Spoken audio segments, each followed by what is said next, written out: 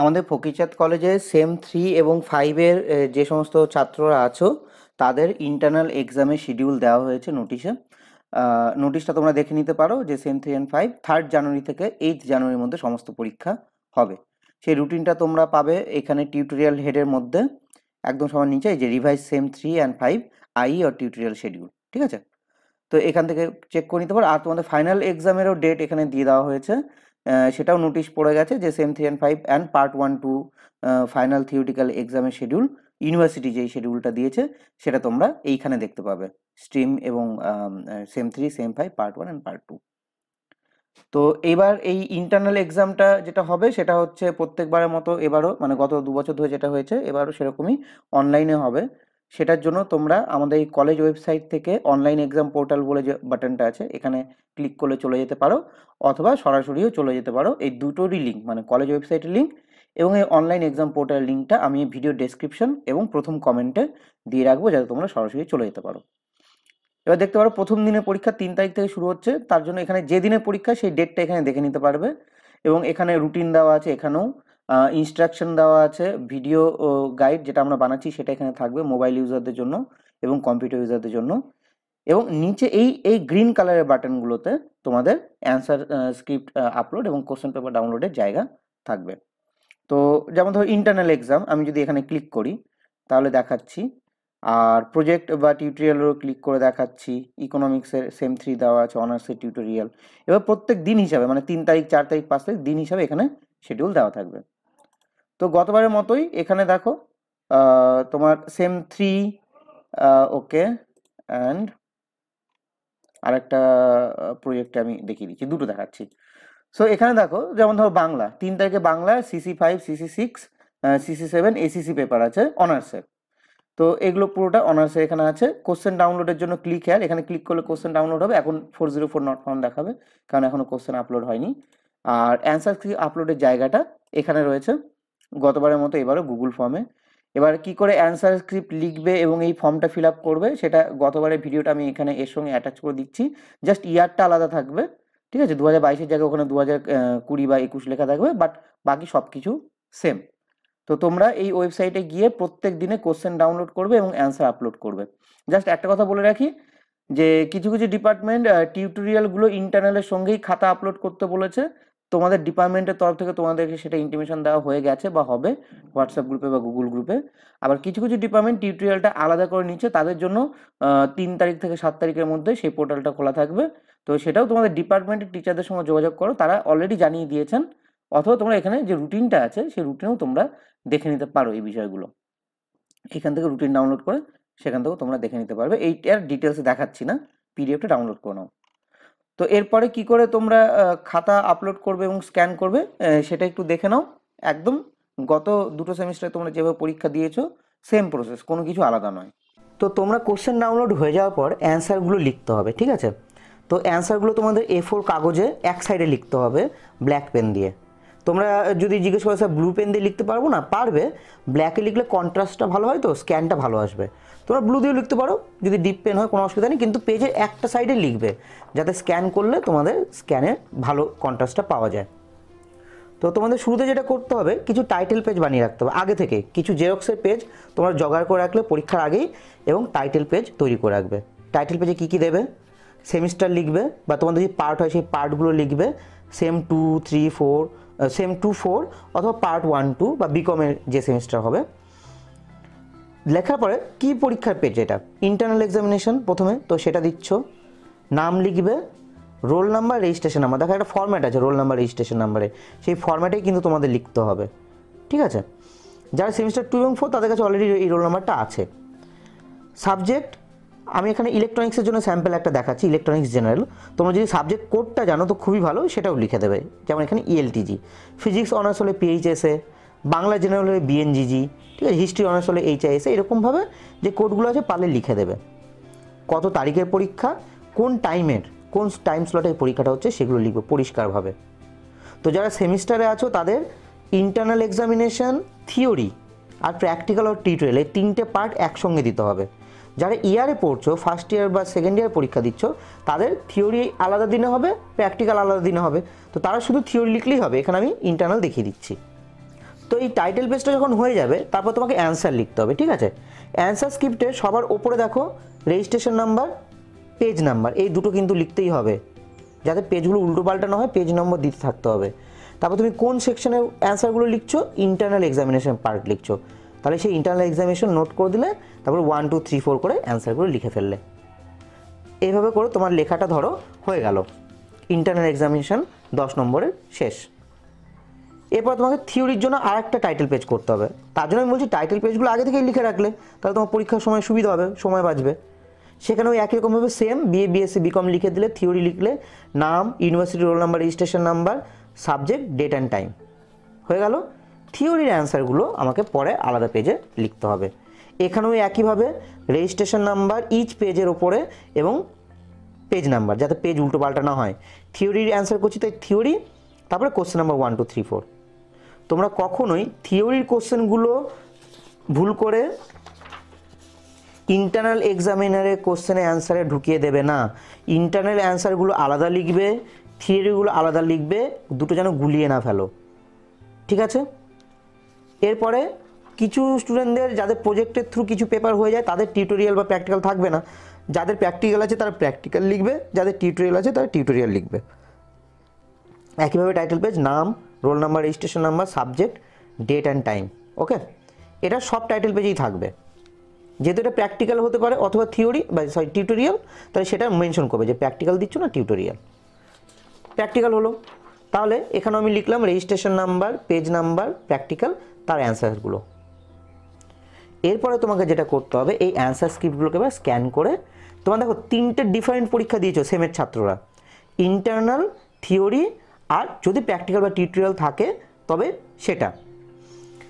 যদি তোমরা ইয়ারের হও, তাহলে শুধুমাত্র থিওরি অথবা প্র্যাকটিক্যালে দিয়েছ। যাই করো না কেন, এইভাবে সিঙ্গেল এ ফোর কাগজে কিন্তু with title page and page number দিয়ে করে কমপ্লিট করতে হবে অ্যান্সারগুলো লেখা। এবার এগুলোকে স্ক্যান করে আপলোড করার জন্য তোমরা তিরিশ মিনিট এক্সট্রা সময় পাবে। তাহলে স্ক্যানটা কী করে করবে? তোমাদের প্রত্যেকের মোবাইলেই দেখো কিছু ডকুমেন্ট স্ক্যানার থাকতে পারে। কেউ যদি বলে, আমি স্যার কম্পিউটারে প্রিন্টার কাম স্ক্যানারে করব। খুব ভালো কথা। আর নাহলে মোবাইল তো সবার কাছেই আছে। মোবাইলে তোমরা স্ক্যান করতে পারো। কি করে? দেখো। প্রথমে প্লে স্টোরে যাও। আইদার তোমার ক্যামেরায় ডকুমেন্ট স্ক্যানার দিয়ে করতে পারো, অথবা আমি যেটা প্রেফার করি ফাস্ট স্ক্যানার বলে একটা অ্যাপ আছে, তোমরা এটাতেও করতে পারো। এখন অফিস স্ক্যানার আছে অ্যাডব স্ক্যানার আছে। ফার্স্ট স্ক্যানারটা সব থেকে ছোটো দেখেছি আমি, ষোলো এমবি মাত্র। তো তোমরা এটা ইনস্টল করে নিতে পারো।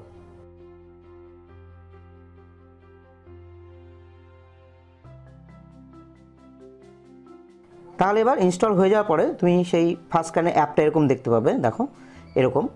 তো এটা খোলো, খুললে এরকম, প্রথমে তোমাকে ক্যামেরা অ্যালাউ করতে হবে, তারপর মিডিয়া অ্যালাউ করে দিতে হবে। এবার এরকম ব্ল্যাঙ্ক পেলে তো, ঠিক আছে? নিচে যে ক্যামেরা অপশন আছে, এখানে ক্লিক করো করলে তোমার স্ক্যানার খুলে যাবে। তোমার যদি আলো কম হয়, তাহলে তুমি চাইলে ফ্ল্যাশটা অন করে নিতে পারো। আমি ফ্ল্যাশটা অন করি, করে আমি একটা ছবি তুললাম। ছবি তুললে প্রথম ওরা এরিয়া সিলেক্ট করতে এই দেখো, এই সবুজ লাইনগুলো দেখছ তো? এগুলোতে কতটুকু রাখব? আমি ব্যাকগ্রাউন্ডে কিছু রাখতে চাইছি না। তো আমি যতটুকু রাখব, সেটুকু এরিয়া সিলেক্ট করে ওকে করে দিলাম। এরপর ওরা স্ক্যানে কনভার্ট করে। দেখো ব্ল্যাক অ্যান্ড হোয়াইটটা সিলেক্ট করো হয় ব্ল্যাক অ্যান্ড হোয়াইট ওয়ান অথবা black and white two colour করো না বা ফটো করো না। ব্ল্যাক অ্যান্ড হোয়াইট করলে কন্ট্রাস্টটা খুব ভালো হবে। করলাম ওকে এবার দেখো ডকুমেন্টস নাম দিতে বলেছে, তাই না? এখানে তোমাদের সুবিধা মতো তোমরা নাম দেবে, যাতে করে তোমরা এই ফাইলটাকে আলাদা করে পরে চিনতে পারো। যেমন ধরো ইলেকট্রনিক্সের পরীক্ষা হচ্ছে, তাহলে আমি কি করলাম? ইএলটিজি লিখে দিলাম। এবার আমি ইলেকট্রনিক্স ফিজিক্স কেমিস্ট্রি তিনটে পরীক্ষা দেবো, তিন দিনের তিনটে ফাইল হবে, আমি গুলিয়ে ফেলব না। কেউ যদি আরও ভালো করতে চাও, তাহলে এরপরে তুমি চাইলে তোমার রেজিস্ট্রেশন নাম্বারটাও দিয়ে দাও ফাইল নামে কোনো অসুবিধা নেই। তোমার রেজিস্ট্রেশন নাম্বারটা এরকম একটা ফরম্যাটে থাকবে। এরকম কিছু একটা ফরম্যাটে আছে ওকে করে দাও। নাহলে শুধু অ্যাটলিস্ট সাবজেক্ট কোডটা দিয়ে ফাইল নেম সিলেক্ট করে দাও। এটা একটা পেজ হলো, তাই না?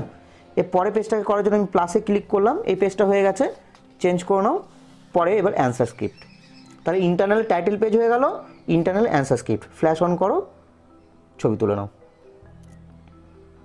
অ্যান্সার স্ক্রিপ্টে দেখো, এবার সবুজে যে ব্যাকগ্রাউন্ডে এই যে ওপরের দিকে কিছুটা আনওয়ান্টেড জায়গা আছে, আমি এগুলোকে একটু ক্রপ করে দিলাম, ঠিক আছে? তাহলে আমার পেজটা পিওর একদম পরীক্ষা শুধু অ্যান্সার স্ক্রিপ্টটুকুই দেখা যাচ্ছে, দেখো। করে ওকে করে দাও। দেখো সেকেন্ড পেজে কিন্তু ওটা ঢুকে গেলো। আবার অ্যাড করো। এবার প্রত্যেকটা পেজ ধরে ধরে তোমাকে অ্যাড করতে হবে, যতগুলো পেজ লিখেছো। আবার এটাকে ফ্ল্যাশ দিয়ে আমি ছবি তুলে নিলাম। হলো? এবার দেখো, অনেকটা এরিয়া আমাকে কাটতে হবে এই পেজের এরকম করে আমি এরিয়াটা সিলেক্ট করে নিলাম। সিলেক্ট করে শুধু ওয়ান্টেড জায়গাটুকু রাখলাম এরিয়াটুকু ওকে করে দিলাম। ওকে নেট অন থাকলে অ্যাড দেবে, তো এই স্ক্যানটা করার আগে নেটটা অফ করে নেবে। আমিও নেটটা অফ করে নিই। নাহলে এটা অ্যাড দিতেই থাকবে। হুম। আচ্ছা এবার তুমি যদি বলো যে, স্যার, আমি একটা একটা পেজ নয়, আমি পরপর সবগুলো করতে চাই। ঠিক আছে, সেটাও করতে পারবে। কি করে? এখানে দেখো, এই যে ফাইল অপশনটা আছে, এটা একটা, এটা মাল্টিপল ফাইল আমি মাল্টিপল ফাইল নিলাম ফ্ল্যাশ অন করে দিলাম। এই পেজটা হয়ে গেছে। তাই ইন্টারনাল আর থিওরি থিওরি টাইটেল পেজ হয়ে গেল থিওরি অ্যান্সার স্ক্রিপ্ট তুলে নাও। যাদের প্র্যাকটিক্যাল বা টিউটোরিয়াল আছে, তার টাইটেল পেজ তুলে নিলাম। তার অ্যান্সার স্ক্রিপ্ট পরপর এবার সাজিয়ে রাখবে যাতে পেজ উল্টোপাল্টা না হয়। ঠিক আছে, সবগুলো হয়ে গেল। সবার শেষে তোমাদেরকে ইউনিভার্সিটি রেজিস্ট্রেশন সার্টিফিকেটটা দিতেই হবে।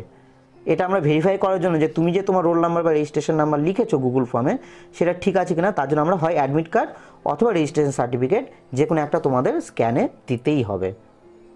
এটাও তুলে নিলাম ছবি। সব ছবি তোলা হয়ে গেল, আর নেই, আমার কাছে এটা শেষ, ডান। এরপর আমি কি করব? এইখানে চলে যাও ক্লিক করো। এবার এগুলোকে আমাকে প্রত্যেকটাকে ধরে ধরে সুইটেবল এরিয়াগুলোকে সিলেক্ট করতে হবে ইচ পেজকে যাতে ব্যাকগ্রাউন্ডটা না থাকে। ওকে, একটা পেজ হয়ে গেল পরে পেজটাকে নাও। তোমরা যদি ডার্ক ব্যাকগ্রাউন্ড মানে একটা ধরো কালো কাগজের উপর রেখে করতে পারো, এই স্ক্যানটা তাহলে ও অটোমেটিক কিন্তু এই চারকোনা এরিয়াটা সিলেক্ট করে নেবে। এখানে দেখো, যেমন করেছে অটোমেটিক করে নিয়েছে। এখানেও করে নিয়েছে, দেখো। কারণ ব্যাকগ্রাউন্ডটার সঙ্গে এটা আলাদা পেয়েছে। হয়ে গেল, সবগুলো ওকে করে দাও, স্ক্যান হয়ে গেল। ঠিক আছে, দেখো অ্যাড হয়ে গেছে। এই ফাইল নেমের আন্ডারে সমস্ত পেজগুলো অ্যাড হয়ে গেছে। এবার তোমার যদি মনে হয়, স্যার, একটা পেজ উল্টো পাল্টা হয়ে গেছে। যেমন এই এই পাঁচ নম্বর পেজটা ছয়ে আসবে আর ছয়েরটা পাঁচে যাবে। তাহলে কি করব? এই থ্রি ডট মেনুটা আছে না, এটা ধরে তুমি চাইলে ওপর নিচ করে দিতে পারো। আমার তো আপাতত ঠিক আছে, আমি রেখে দিলাম। আমি যেখানে ইচ্ছে এটাকে নিয়ে যেতে পারি। ঠিক আছে? তারপর ফাইনাল একবার চেক করে নিতে পারি যে আমার অ্যান্সারগুলো ঠিক আছে কিনা। দেখো, প্রথম পেজ হচ্ছে আমার ইন্টারনাল এক্সামের টাইটেল পেজ তারপরটা হচ্ছে ইন্টারনালের অ্যান্সার এক, দুই, তিন, চার করে লিখে ফেলেছি। তারপরে আমার থিওরির টাইটেল পেজ তারপরে থিওরি অ্যান্সার যদি প্র্যাকটিক্যাল বা টিউটোরিয়াল থাকে, তাহলে তার টাইটেল পেজ তার অ্যান্সার এবং সবার শেষে অবশ্যই রেজিস্ট্রেশন সার্টিফিকেট বা অ্যাডমিট কার্ড তাহলে আমার সব ঠিক আছে, সাজানো হয়ে গেছে। এবার এটা আমাকে পিডিএফ করে আপলোড করতে হবে, তাই তো? পিডিএফে কনভার্ট করার দেখো দুটো অপশন আছে। এক, তুমি এখানে ইমেল টু মাই মাইসেলফ করে দিতে পারো, তাহলে তোমার পিডিএফ হিসেবে তোমার ইমেলে চলে যাবে। যারা কম্পিউটার করবে, বা এখানেও রাখতে পারো, দেখো। এই যে থ্রি ডট মেনুটা আছে, ওখানে ক্লিক করো। ক্লিক করলে সেভ টু স্টোরেজ বলে একটা অপশন পাচ্ছ। সেভ টু স্টোরেজে ক্লিক করে দাও, দেখো। Save to folder Fast Scanner PDF এখানে কিন্তু আমার পুরো ফাইলটা পর পর, একটা, তার মানে তিনটে অ্যান্সার স্ক্রিপ্ট ছিল, দেখো। এটা এটা ইন্টারনাল এটা ছিল আমার থিওরি আর এটা ছিল তোমার প্র্যাকটিক্যাল বা টিউটোরিয়াল আর একটা রেজিস্ট্রেশন এই সমস্ত মিলে কিন্তু আমার একটা সিঙ্গেল পিডিএফে হয়ে গেছে অ্যাটাচ সেটা আমি কোথায় পাবো? দেখো লোকাল ফাইলে যাও ফাইল ম্যানেজার তোমার লোকাল ফাইলস ডিভাইসে যাও। সেখানে দেখো ফার্স্ট স্ক্যানার পিডিএফ বলে একটা অপশন পাবে। সেখানে ঢোকো, সেখানে দেখো, এই যে তুমি যে নামটা দিয়েছ E ইএলটিজি তারপর রেজিস্ট্রেশন নাম্বার এইটা খোলো, এটা দেখো পিডিএফে কনভার্ট হয়ে গেছে, দেখো। পরপর সবগুলো পেজ চলে এসছে তুমি এখানেও যদি মনে হয়, স্যার, দুটো পেজ এদিক ওদিক হয়ে গেছে, তুমি আবার সেই অ্যাপে গিয়ে ছবি তুলে বা ওপর নিচ করে সাজিয়ে আবার পিডিএফে কনভার্ট করে নিতে পারো। কোনো অসুবিধা নেই। যারা কম্পিউটার থেকে এটা আপলোড করবে, তারা এবার মোবাইলটাকে হয় কম্পিউটারে ইউএসবি কেবল দিয়ে কানেক্ট করে এই ফাইলটাকে কপি করে নেবে কম্পিউটারে অথবা তুমি ফার্স্ট স্ক্যানার থেকে নিজেকে মেল করে নিতে পারো। এখান থেকেই মেল ইমেল টু মাইসেলফ এখান থেকে যাও ইমেল টু করো। প্রথমে একবার, প্রথমবার বলবে তোমার ইমেল আইডিটা অ্যাটাচ করে দাও। আমি এখানে দিয়ে দেখাচ্ছি। তারা মোবাইল কানেক্ট করার দরকার হয় না। হয়ে গেল? এরপরে যদি আমি করি ইমেল টু মাইসেলফ দেখো ইমেল হয়ে যাবে। এই যে জিমেল সিলেক্ট করলাম, ও আমাকে ইমেল করে দিচ্ছে। করে সেন্ড করে দাও, আমার ইমেল আমি পেয়ে যাব। দেখি ইমেল এসছে কিনা? যারা কম্পিউটারে করবে আর কি কম্পিউটারের জন্য। আর যারা মোবাইলে করবে, তারা লোকাল এই দেখো, চলে এসছে। ঠিক আছে? তো এরকমই আমি বলছি যে যারা মোবাইল থেকে অ্যান্সার অ্যান্সারকে আপলোড করবে, তারা মোবাইলের লোকাল স্টোরেজে পেয়ে যাবে পিডিএফটাকে যারা কম্পিউটার থেকে করবে, তারা আইদার নিজেদেরকে ইমেল করে নাও পিডিএফটা অথবা মোবাইলকে কম্পিউটার কানেক্ট করে এই পিডিএফ ফাইলটা কপি পেস্ট করে নাও। ঠিক আছে? তাহলে এরপরে এই ফাইলটাকে কী করে আপলোড করতে হবে অ্যান্সার স্ক্রিপ্টটাকে কী করে আমাদের কলেজ পোর্টালে আপলোড করতে হবে, আমি সেটা দেখাচ্ছি। আচ্ছা এবার তোমার অ্যান্সারটা পিডিএফে কনভার্ট হয়ে গেছে, সেটা তোমার মোবাইলে আছে। তাহলে মোবাইলটাকে এক কাজ করো কম্পিউটারে কানেক্ট করো, মোবাইলটাকে আমি কম্পিউটারে কানেক্ট করে আমি সেখানে দেখতে পাবো ফার্স্ট স্ক্যানার বলে ফার্স্ট স্ক্যানার পিডিএফ বলে একটা ফোল্ডার আছে। সেখানে ঢুকলে আমি যতগুলো পিডিএফ আছে আমি দেখতে পাবো। তো এটা আমার ফাইল ছিল E ইএলটিজি আমি এটাকে কপি বা কাট করব। কপি করে নাও, তাহলে থাকুক মোবাইল অসুবিধা নেই। নিয়ে তোমার যেটা সুবিধা মনে হবে, এমন একটা জায়গায় ওটাকে পেস্ট করে রেখে দাও। এটা তোমার অ্যান্সার স্ক্রিপ্ট হয়ে গেল তাহলে, ঠিক আছে? তাহলে এই দেখো, এইটা তোমার অ্যান্সার স্ক্রিপ্ট হলো। এটাকে এবার আপলোড করতে হবে। তারপর চেক করে নাও যে ঠিকঠাক এসছে কিনা। এটাই তোমার সেই ইন্টারনাল আলাদা আছে, ঠিক আছে? থিওরি আলাদা আছে, এভাবে তোমার স্ক্যান হয়ে গেছে প্র্যাকটিক্যাল আলাদা আছে এবং সবার শেষে রেজিস্ট্রেশন ওকে এটাকে এবার তোমাকে আপলোড করতে হবে। কোথায় করবে? এই যে তুমি খুলেছিলে অ্যান্সার স্ক্রিপ্ট দেখো কোশ্চেন যে ডাউনলোড করব তার ঠিক ডান দিকে আছে। ভালো করে দেখো কোশ্চেন ডাউনলোড তার ডান দিকে অ্যান্সার আপলোড যদি এটা বন্ধ করে দিয়ে থাকো, আমি আরেকবার দেখিয়ে দিচ্ছি, ভালো করে দেখে নাও, কী করে ওই পেজে যাব? সবার আগে আমাদের কলেজের ওয়েবসাইটে যাব। কলেজের ওয়েবসাইটে গিয়ে ফ্রন্ট পেজে আমি দেখতে পাবো সেম এই টোয়েন্টি টোয়েন্টি এক্সাম পোর্টাল ঢুকলাম। ঢুকে আমি আমার স্ট্রিম চুজ করব সেম চুজ করব সেম টু অনার্স জেনারেল নাকি বিকম তাহলে অনার্সে চুজ করলাম আমি জেনারেলে চুজ করলাম, ওই পেজে চলে এলাম। আমার ইলেকট্রনিক্স তো, তাহলে এখানে আমি ক্লিক করে দিলাম। অ্যান্সার আপলোডের জায়গায়। এবার দেখো, গতবার অনেকে ভুল করেছিল যে হিস্ট্রি খাতা জিওগ্রাফিতে আপলোড করে দিয়েছে বোটানি খাতা জুলজিতে আপলোড হয়ে গেছে, এটা হতেই পারে। তার জন্য যখন তুমি অ্যান্সারটা আপলোড করবে, ভালো করে দেখে নেবে যে এর টাইটেলটা কী আছে। সাবজেক্টের নাম এখানে লেখা থাকবে ইলেকট্রনিক্স জেনারেল না অনার্স জি টু না সিসি টু এভরিথিং এখানে লেখা থাকবে। এটা ভালো করে চেক করে তবেই তুমি তোমার অ্যান্সার স্ক্রিপ্ট আপলোড করবে। এবার এখানে ভালো করে একটা জিনিস লক্ষ্য করো। প্রথমে তোমাকে ফুল নেম দিতে হবে, তাই তো? এটা কেস সেন্সিটিভ না। তুমি ছোটো হাতের দাও, বড় হাতের দাও, কোনো প্রবলেম নেই। কিন্তু যে রোল নাম্বারটা এটা মাথায় রাখবে পার্ট যারা পরীক্ষা দিচ্ছ পার্ট ওয়ান পার্ট টু অথবা যারা সেমিস্টারে পরীক্ষা দিচ্ছ, তাদের কিন্তু রোল নাম্বারের প্যাটার্নটা আলাদা। তোমাকে ইউনিভার্সিটির সঠিক প্যাটার্নের রোল নাম্বারটা দিতে হবে। যেমন, আমি যদি সেমের দেখাই, তাহলে আমি যদি ওয়ান টু থ্রি ফোর দিয়ে ছেড়ে দিচ্ছি, দেখো, ভুল দেখাবে। দেখো কারেক্ট ফরম্যাট কি?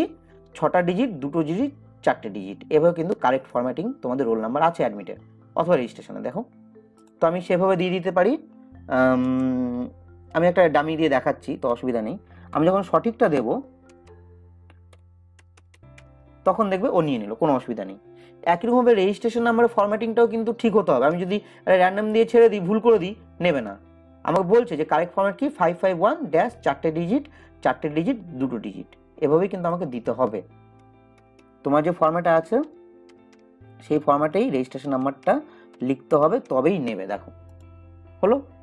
এরপরে সবার নিচে আছে আপলোড অ্যান্সার স্ক্রিপ্ট কি বলেছে? একটাই PDF single PDF maximum ten MB size ঠিক আছে? দশ এমবিতে হয়ে যাবে, দশ এমবি মানে অনেকগুলো পেজ আমার যেটা অ্যান্সার স্ক্রিপ্ট হয়েছে, সেটা কত আছে দেখি? মেমোরি সাতশো আটান্ন কেবি যদি তোমার এটা দশ এমবি এক্সিড করে, তাহলে তোমার ওই যে ফরম্যাট আছে না, যেটা দেখিয়েছিলাম, ওখানে মিডিয়ামের বদলে তুমি স্মল চুজ করে নাও ফার্স্ট স্ক্যানারে গিয়ে ফাইল সাইজ ওখানে স্মল মিডিয়াম লার্জ তিনটে অপশন আছে। ডিফল্টে মিডিয়াম আছে মিডিয়ামে হয়ে যাবে, তোমাদের অসুবিধা হবে না। যদি টেন এমবি এক্সিড করে যায়, তাহলে তুমি ওটাকে কী করবে? স্মলে কনভার্ট করে নেবে। এবার এটাকে আমি, এখানে দেখো অ্যাড ফাইল করছি। অ্যাড ফাইল করলে আমার একটা উইন্ডো খুলে যাচ্ছে। এখানে বলছে select files from your device মানে কম্পিউটার থেকে সিলেক্ট করতে বলছে। সিলেক্ট করো। খুললে আমার ব্রাউজার খুলে যাচ্ছে। আমি যেখানে রেখেছি, সেই জায়গাটা যাই ডাউনলোডে রেখেছি। আমার ফাইল নেমটা দিয়ে আমি বুঝতে পারছি E ইএলটিজি আমার রেজিস্ট্রেশন নাম্বার এটা। তো এটা আমি চুজ করলাম ওপেন করলাম। দেখো, তুমি কোন ফাইলটা চুজ করেছ, এখানে কিন্তু সেই অপশনটা পাচ্ছ, নামটা দেখে নিতে পারছ। যে ভুল করে গতবার একটা ছেলে হয়েছিল অ্যান্সার স্ক্রিপ্টের জায়গায় ভুল করেও নিজের মানে রেজিস্ট্রেশন সার্টিফিকেট আপলোড করে দিয়েছে। ও পরীক্ষায় জিরো পেয়েছে। তার জন্য আপলোড করার আগে এখানে আমি ফাইল নেমটা দেখে নেব, যে আমার অ্যান্সার স্ক্রিপ্টে আপলোড হয়েছে কিনা। তার সাইজটাও দেখতে পাচ্ছি। অ্যাড মোর ফাইল করব না। আমার তো একটাই ফাইলের করতে বলেছে আপলোড একটাই ফাইল থাকল, এখানে আপলোড করে দাও। দেখো এখানে নিচে এখানে আপলোড দেখাচ্ছে। হয়ে গেল? যখন আপলোড হয়ে যাবে, তুমি সাবমিট করতে পারবে। কোনো একটা ব্ল্যাঙ্ক থাকলে, কোনো একটা ফিল্ড ব্ল্যাঙ্ক থাকলে কিন্তু সাবমিট নেবে না। ঠিক আছে? সাবমিট করে দাও। অনেকে জিজ্ঞেস করে, স্যার সাবমিট হয়েছে, বুঝব কী করে? তোমাদের কাছে কিন্তু কোনো এস এম এস বা ওই ইমেল যাবে না যে সাবমিট সাকসেসফুল হয়েছে। যখন সাবমিট হবে, এখানেই দেখতে পাবে যে your answer script submitted successfully অথবা your response has been recorded এই দুটোর মধ্যে যে কোনো একটা মেসেজ এখানে তুমি দেখতে পাবে। এটা দেখতে পেলেই বুঝতে পারবে যে তোমার অ্যান্সার স্ক্রিপ্ট সাকসেসফুলি সাবমিট করা হয়েছে। ঠিক আছে? এখানে কোনো অসুবিধা হয় না। তো এই পরীক্ষাটা নিয়ে ঘাবড়ানোর কিচ্ছু নেই। তোমাদের যেটা করতে হবে সেটা হচ্ছে একটু ইন্টারনেট কানেকশনটা দেখে নেবে ঠিকঠাক আছে কি না নাহলে যেখানে নেট ভালো আছে এমন কোথাও যাবে সাইবার ক্যাফে হোক বা কোনো বন্ধুর কাছে হোক, যদি তোমার নেট উইক থাকে আর কি, সেখানে চলে যাবে। গিয়ে আগে থেকে কিছু জেরক্সের এফোর পেজ রেখে দেবে। সেখানে টাইটেল পেজগুলো বানিয়ে রাখবে। তিনটে সেকশন বা দুটো সেকশন যারই পরীক্ষা হোক না কেন, তোমরা আলাদা আলাদা করে অ্যান্সার লিখবে। মোবাইলে স্ক্যানার দিয়ে তুমি স্ক্যান করতে পারো ফার্স্ট স্ক্যানার দিয়ে করতে পারো অ্যাডব স্ক্যানার হতে পারে অফিস স্ক্যানার বা কেউ যদি বলে আমি প্রিন্টার কাম স্ক্যানার দিয়ে ভালো করে করব, করো, তোমার ব্যাপার। দশ এমবির মধ্যে ফাইল সাইজ রাখলেই হলো, ওটা কোনো চাপ নেই। সেটাকে এবার তোমাকে এইখানে এসে কোশ্চেন ডাউনলোড এবং অ্যান্সার আপলোডটা করতে হবে। আর এই এই স্টেপগুলো ফলো করলে কোনো অসুবিধা হবে না। এরপরেও যদি কোনোরকম হেল্প দরকার হয়, তুমি কম, তোমরা কমেন্ট সেকশন আমাকে জানাও, আমি তার রিপ্লাই দেওয়ার চেষ্টা করব।